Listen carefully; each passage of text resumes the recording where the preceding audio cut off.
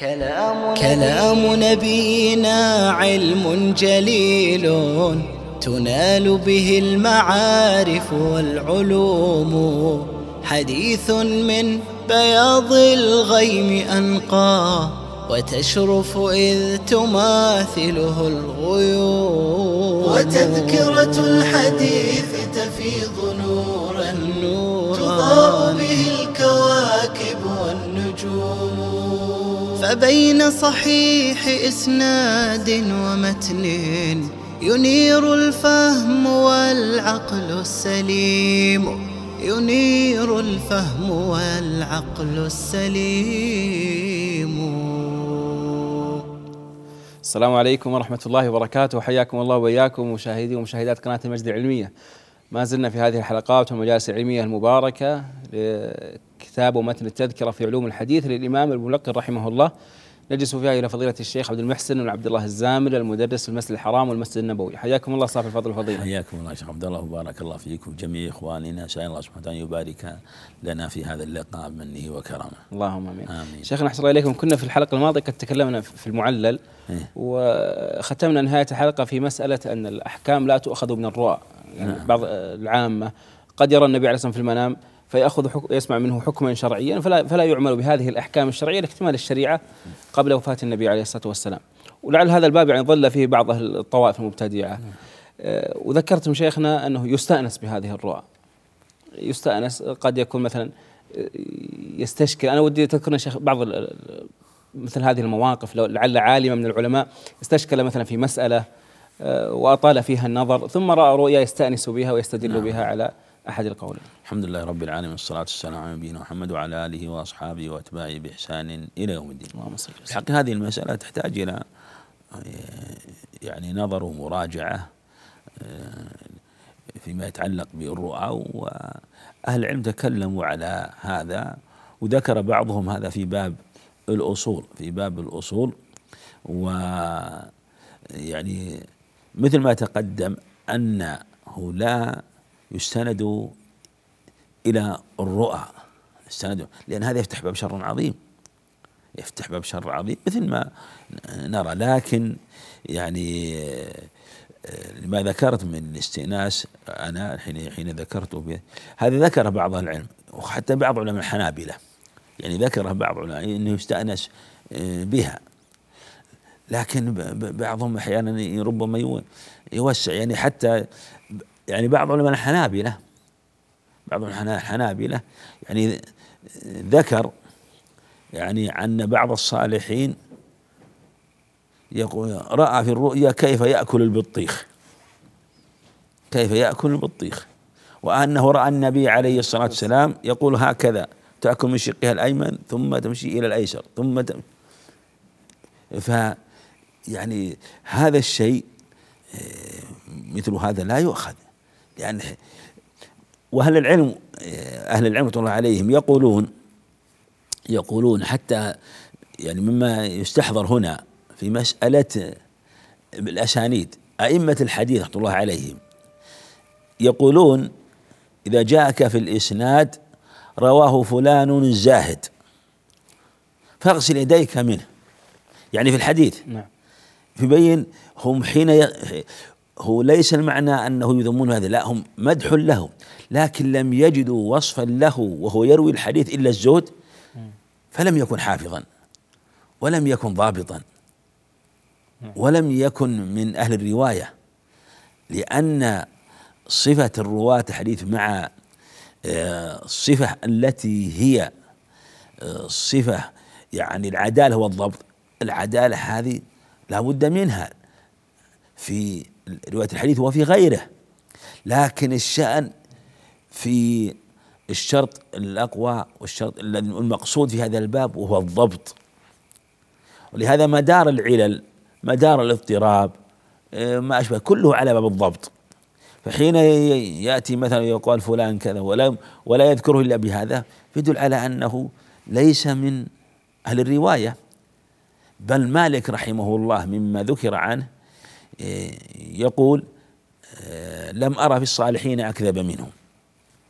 ليس المقصد أنه يك- يك- أن الكذب يسرع أن الكذب يجري على سنتهم أنهم لا يفه لا يتقنون الأخبار أنهم انصرفوا إلى العبادة ولهذا يغترون ببعض الأخبار يغترون ببعض الحكايات التي هي في الحقيقة آه، يعني آه، يدخلونها يظنون أنها من الحديث وهم من أهل الزهد من أهل العبادة لكن ليسوا من أهل العلم.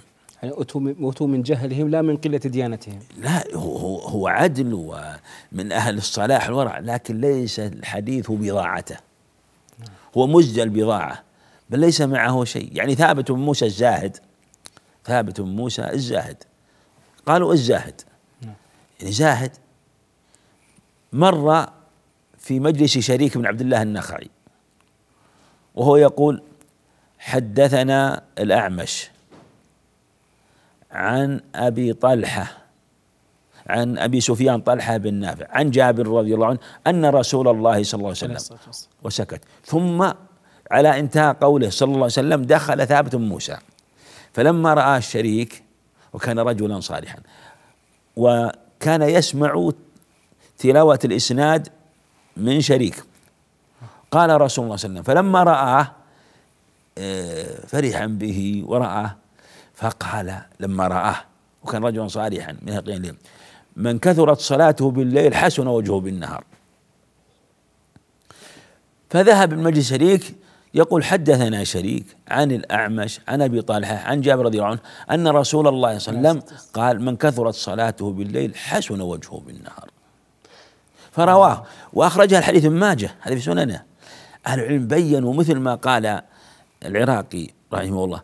فقيض الله لها نقادها فبينوا بنقدهم فسادها الله. هذا يعني هذا النقد بينوا البطلان. أما ذاك في آه، حينما ذكر العلل ها وأنه الجهبذ عبارة عن عن أسباب طرت فيها غموض وخفاء أثرت تدرك بالخلاف والتفرد مع قرائن تضم يهتدي جهبذها. يهتدي الجهبذ قد يكون مثل يحكم عليه بأنه مرسل أنه متصل لكن هنا يبين فسادها بين أنها أخبار فاسد باطلة. فأهل العلم آه، قالوا إن ثابت موسى ليس من شأنه الحديث. والحديث سرقه منه بعض الكذابين يسمونه السرقة. فلا يدرى هل سرقه مثلا منه لأنه جهل إن حديث أنه جهل وظنه حديث وجهل الحال. فرووه وانتشر. فلا يدرى أيهم السارق الأول أيهم السارق الثاني. يسمون السرقة وحكموا على السرقة بأنها نوع من وضع الحديث. سرقة الحديث وهو أخذ إسناد وإلصاقه بمتن ويكون هذا المتن باطل. بل قد يكون إلصاق إسناد بمتن صحيح متن صحيح لكن إسناد باطل مثلا لطلب شيء مثلا إغراب أو نحو ذلك كما يقولون. فالرؤى الرؤى أحيانا قد يستأنس بها مثلا استئناسا تقع أحيانا هي تقع أحيانا في بعض الأمور والمسائل.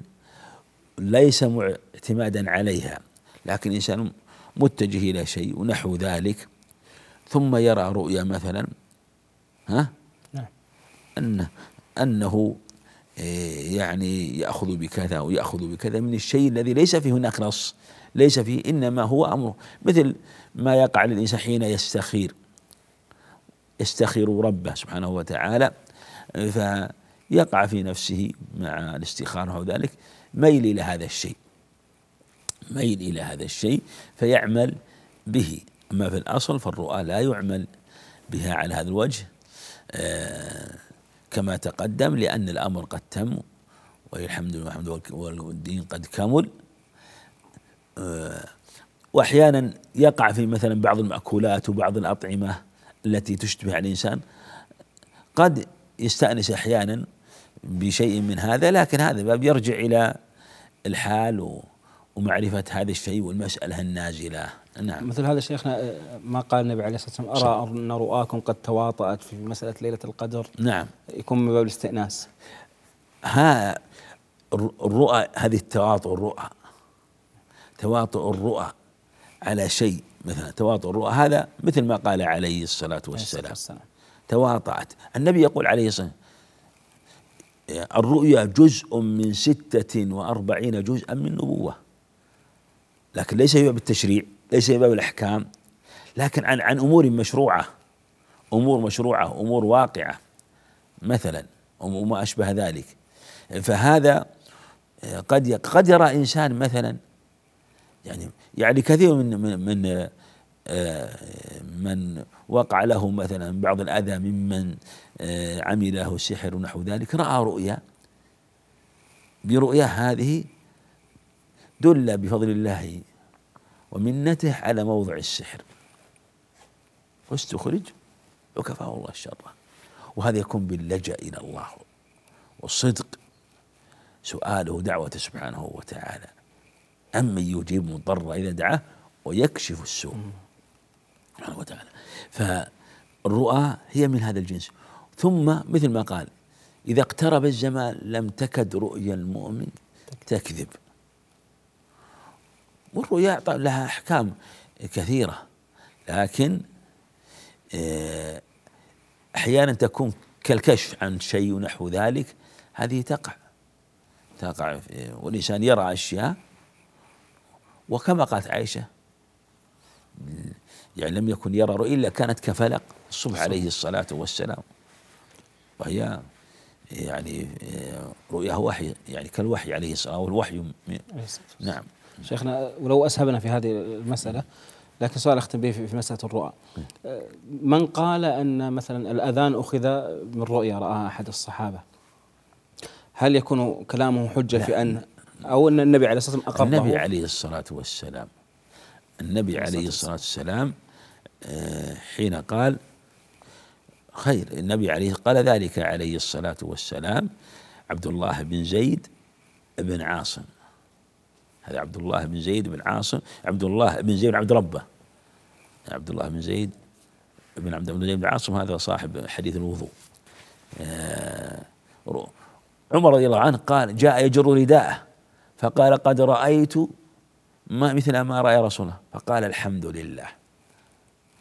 ألقه على بلال فإنه أندى صوتا منك حكم الأذان أخذ من قول النبي عليه الصلاة والسلام إيه؟ لا من الرؤى التي. نعم من قول النبي عليه الصلاة والسلام لكن لما اختلفوا لما هل يعني يعني بوق مثلا أو نحو ذلك مثل بوق مثل بوق اليهود أو ناقوس من ناقوس النصارى وكذا آه الحديث فقال مع أنه في أول أمر قال أفلا تنادون بها؟ ينادون بها في الأسواق في الطرقات. ثم بعد ذلك لما جاءت الرؤيا استقرت على هذه الرؤيا التي رآها وأنها حق. والنبي عليه الصلاة والسلام قال قال ألقه على بلال وكذلك رآها عمر رضي الله عنه فثبت بذلك الأذان. نعم. طيب في في باب العلل شيخنا علم العلل.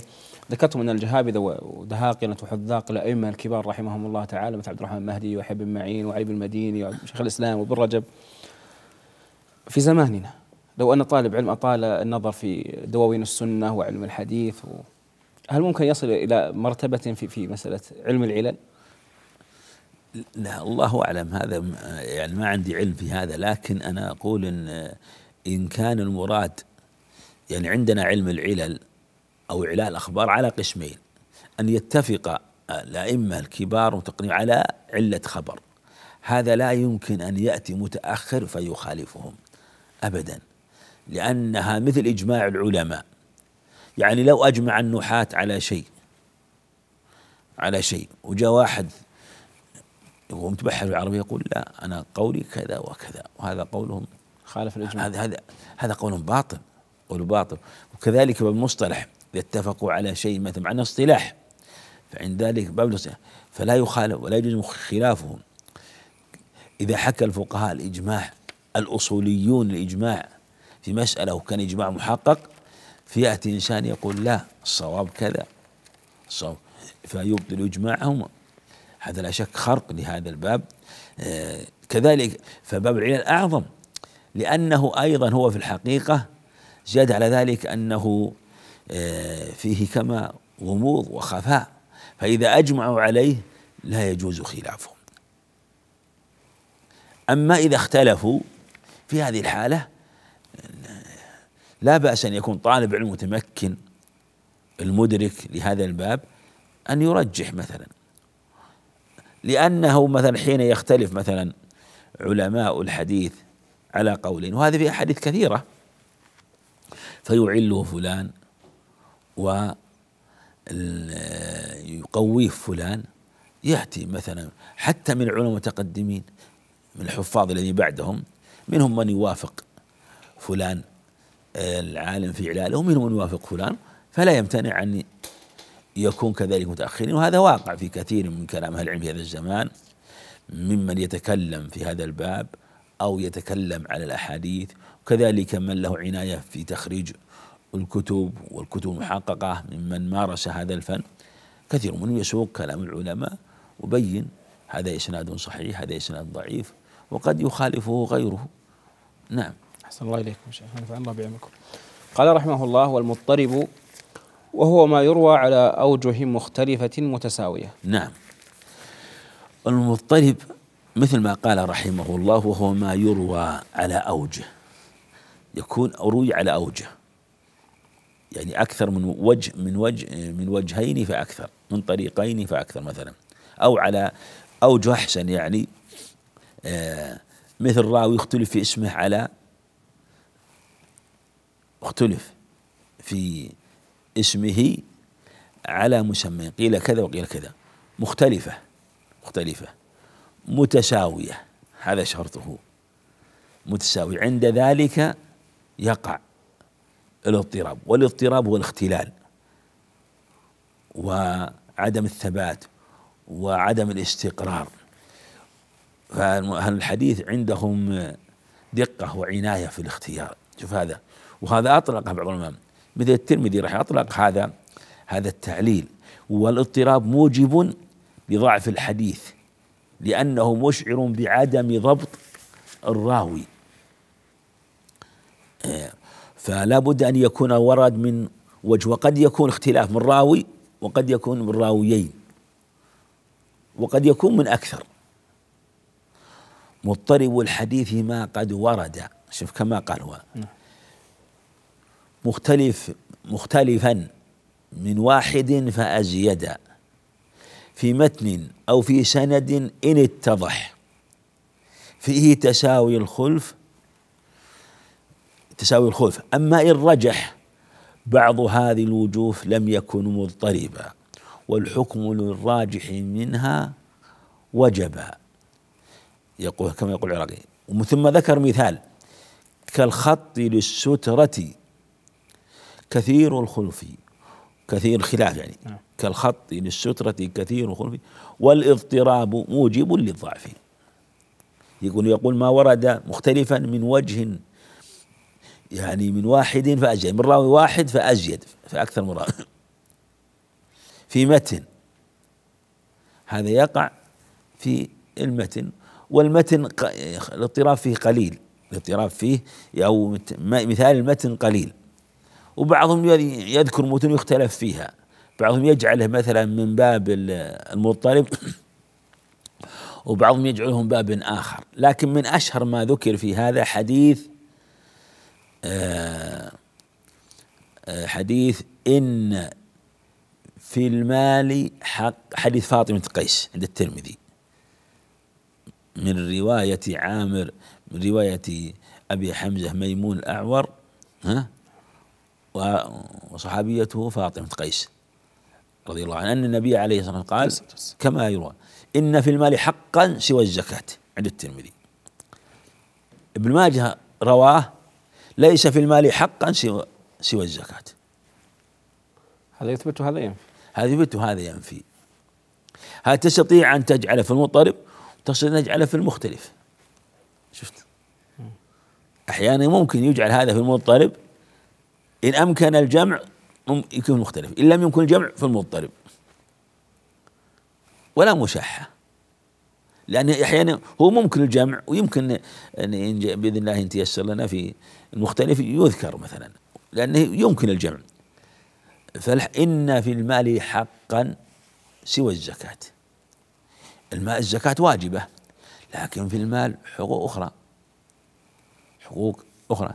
تعلق مثلا بالضيف حق الضيف في النائبة. حلت نائب مثلا واحتاج المسلمون إلى شيء من ذلك. إطعام الجائع ها؟ النفقة على العيال ممكن. ها؟ النفقة على العيال والزوجة. هذا كذلك هذه كذلك لكن آه هذا حق دائم. لكن هذه حقوق عارضة. حقوق عارضة. يعني آه لغيره لمن لا تجب نفقته. لأن الزكاة لغير من تجب نفقته. أما هذه النفقة لا. نعم. هو من من حيث العموم تدخل لكن هو مراد آه، إعطاء المال. كما تعطي الزكاة لغير من تجب نفقته عليك كذلك أيضا نعم. طبعا هذه المسألة فيها تفصيل يعني لكن الكلام فيما يتعلق بهذا الحديث. كذلك المال يجب في حقوق هذا أما قول ليس في المال حق سوى الزكاة يكون المراد به الحق الدائم الثابت وهو الزكاة. الزكاة ما تغير حق دائم راتب راتب. أما هذه الحقوق فهي حقوق عارضة حقوق عارضة. مثل نقول لا يجب من الصلوات إلا الصلوات المفروضات لكن من العلماء قال تجب صلاة الكسوف من العلم من قال تجب صلاة العيد صلاة العيد. فيقال هذه صلاة بسبب عارض. أما الصلاة المستقرة الدائمة الثابتة الراتبة في اليوم والليلة فلا يجب غيرها. خلاف في الوتر هذا معروف. وكذلك ركعتا الفجر. هذه الحسن البصري والوتر لأبي حنيفة. لكن الصواب أنه لا يجب لا هذا ولا هذا. كما هو قول الجمهور في الوتر وقول عامة أهل العلم في ركعتي الفجر. فالمراد به يعني الحق الدائم. هناك جواب آخر أن الحديث لا يصح أصلا. لأن ولاية أبي حمزة ميمون الأعور كلا الخبرين منه. وهذا مما يجعل الأمر يوهن هذا الخبر. كيف يروى من طريقه هو. ثم أيضا يقول العراقي إن في نسخة الصحيحة لابن ماجه مثل رواية الترمذي. فلا يمكن يأتي مثل هذه. يعني سبحان الله الأخبار تروى تكون يكون فيها كلام قادح يتبين ويظهر ظهورا تاما واضحا ما هو الصحيح وما هو خلافه. وهذا من حفظ هذه السنة. يبقى لها الجهابذة ينخلونها نخلا كما يقول عبد الله مبارك. والإسناد من الدين. وبيننا وبين القوم القوائم. هل ترقى السطح بلا سلم؟ ما يمكن. يأتي القائمة. يحدث ويتكلم. يقول أسانيدك ما أحسنها لكن ليس لها أجنحة. ما تطير. جاثمة في الأرض لا قيمة لها. فأهل العلم الله عليهم اعتنوا عناية عظيمة. أفنوا حياتهم وأوقاتهم في لذتهم في أنسهم في عبادتهم رحمة الله عليهم العبادة العظيمة. هذه دخل مرة البخاري رحمه الله على الوراق آه، أحد وراقيه رحمه الله له عبد الله بن حماد الآملي وله وراق آخر نسيت الآن رقى رقي عليه. أين كانوا؟ في الرباط. في الرباط يرابطون في سبيل الله. وكان البخاري رحمه الله آه، نزل في مكان في نفس الرباط يصلي ونحو ذلك. ثم صعد إلى الوراق وجده في العلية والكتب بين يديه والأسانيد يقرأها. فوقف البخاري. قال هنيئا لك.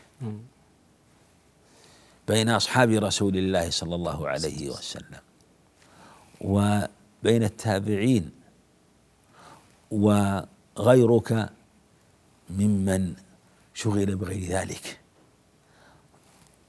فأنت بين أصحاب رسول الله صلى الله عليه وسلم. وهو تلميذه. البخاري رحمه الله يعني يعني كان رحمه الله يعني حتى إنه يقول ما ضيعت آه، لحظة من حياتي ونحو ذلك وأنه في نومته وقومته كله لأجل هذا.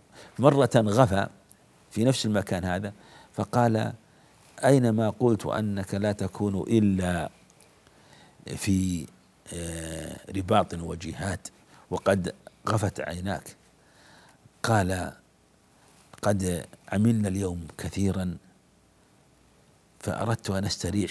إن غافصنا العدو كان بنا حراك. رحمه الله. فهكذا كانوا رحمة الله عليهم.